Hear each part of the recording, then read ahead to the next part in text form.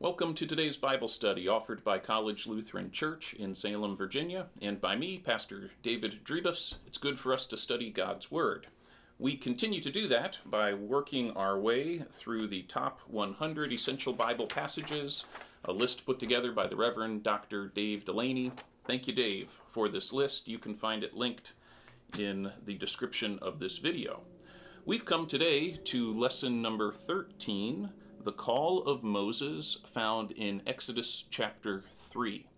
So I hope you read Exodus 3 before watching this video, and I hope you'll read uh, chapters 1 through 2 and maybe chapter 4 as well. Uh, there's a lot of interesting stuff in the book of Exodus, and I do want to catch you up on what's happening in the story of God's people so far in uh, the end of Genesis, if you remember our previous Bible studies, uh, we followed the story of Joseph, who had been sold into slavery in Egypt, and eventually he ends up saving Egypt and all the people of the region uh, in a famine, thanks to God being at work through him, and he's uh, reconciled with his brothers. And the book of Genesis ends with Joseph and his family living happily ever after in Egypt. They have a pretty good deal with the Pharaoh there.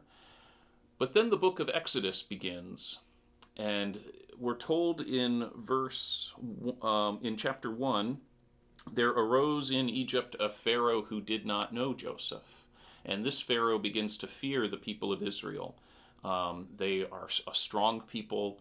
Uh, they are still regarded as foreigners. And so this Pharaoh wants to um, really uh, break them as a people. Uh, he uh, makes them slaves. He wants um, the uh, midwives of the Hebrew people to kill any males who are born, but the midwives uh, disobey and use some trickery to um, to save the newborn Hebrew males.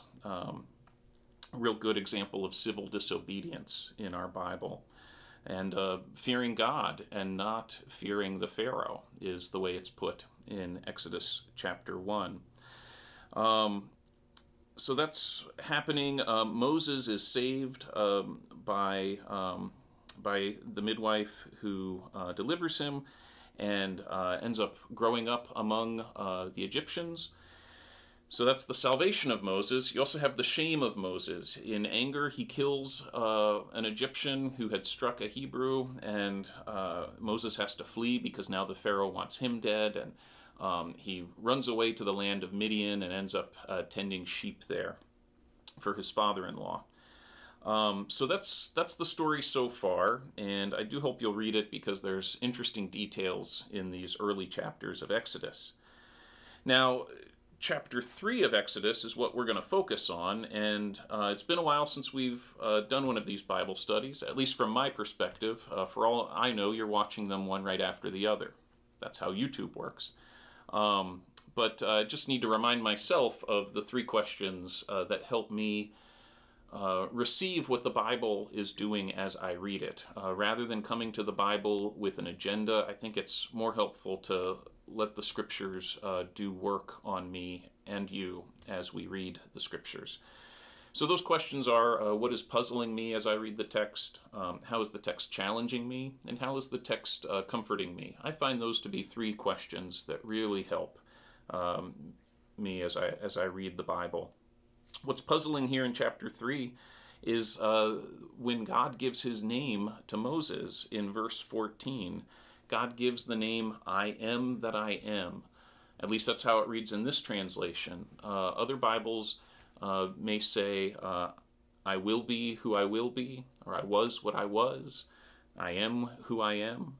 Um, these are all different ways of translating uh, this holy name for God uh, that's sometimes mistranslated Jehovah, uh, by the way, and um, has another way of being said.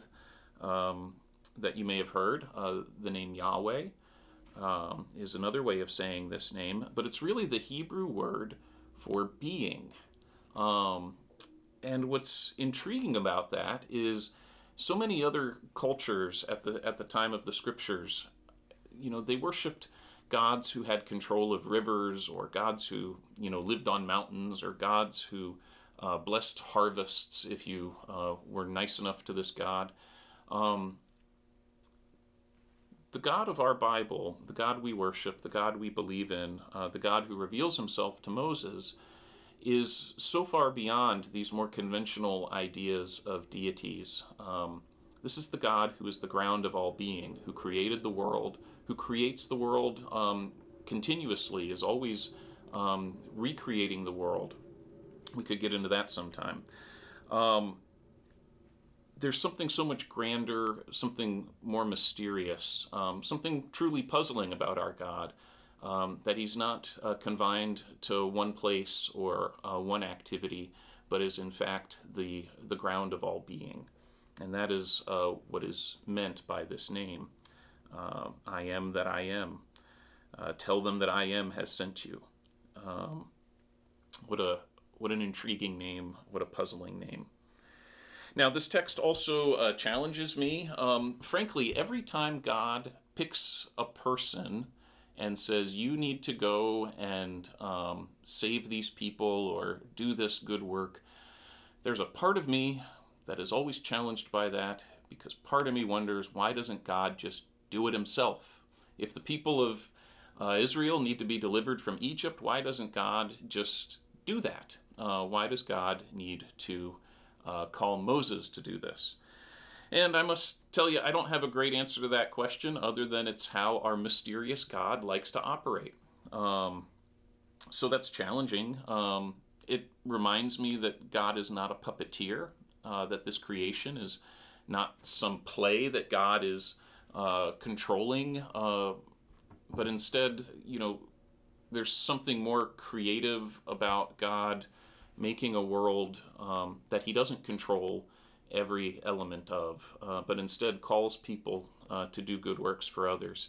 That's the closest I get to an answer, but it is still challenging. And every time there's a call story in the Bible, um, as wonderful as a story it might be, and this is a pretty neat one among the call stories in the scriptures, there's always in the back of my head that question uh, why doesn't God just do it himself? So, um, not really an answer, but certainly a challenge uh, to me as I read it.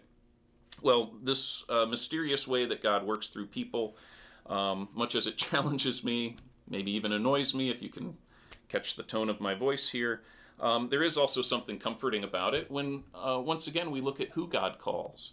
And uh, God works through real people, and our scriptures are unique. Um, the, the Hebrew scriptures and the Christian scriptures of the New Testament um, have a unique perspective among holy texts in that uh, we don't wipe away the um, the problems uh, that these heroic figures have. The, these are um, very real people. Um, so Moses has anger issues uh, throughout uh, his story in our Bible. We see that at the beginning with him uh, striking the Egyptian in anger and murdering him, and then covering him up in the sand because uh, he's ashamed of what he's done. This is a very flawed person. And Moses agrees that he's flawed. Uh, part of why I hope you'll keep reading uh, beyond chapter 3 is it takes a whole other chapter, chapter 4, of Moses giving uh, one reason after another as to why he is a bad choice uh, to do this work. Uh, he keeps arguing with God, you know, not me, not me. Um, but, um, you know, Moses doesn't measure up to his own standards, his own idea of who would be called by God and Moses doesn't measure up to the standards of um, of others um, because of what he's done and who he is. So that's um, just that's been a repeated theme in these in these early chapters of the Bible that God calls people that we wouldn't expect, that God calls real people who are not perfect, and uh, there's something comforting about that. Um, and I would just leave us with this thought that um, you know, the world may say Moses is not the right choice. Moses himself says he's not the right choice, um, but he is the right choice, and that will be clear for the um, uh, what happens um, next in his story.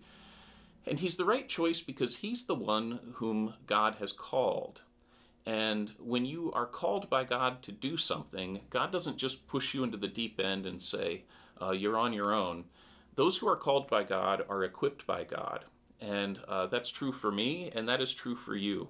you have a calling to serve your neighbor, and you may come up with all sorts of reasons why you are not a good choice uh, to do good things for your neighbor. Um, but God has called you to do that. Um, God has freed you through the gospel uh, to know that you don't have to get everything perfect as you go about doing good works for others. And if God has put someone in your life uh, that you are able to help, I hope you hear that and see that as a calling. And I hope you can have some confidence um, knowing uh, that God is with you and um, that if you need help, I hope you'll reach out to your fellow Christians uh, for support. But um, if you need help figuring out what you're called to do, uh, that's what the church is for. That's what your fellow Christians are for. And that is the work that God does, always calling us uh, to do good things for others and not just say, calling us and then saying we're on our own. Um, but you are the right person if you're the one God has called to do this thing or that thing. And um, I just hope you know that, and um, I hope uh, that your eyes are opened uh, to that truth in your life. Amen.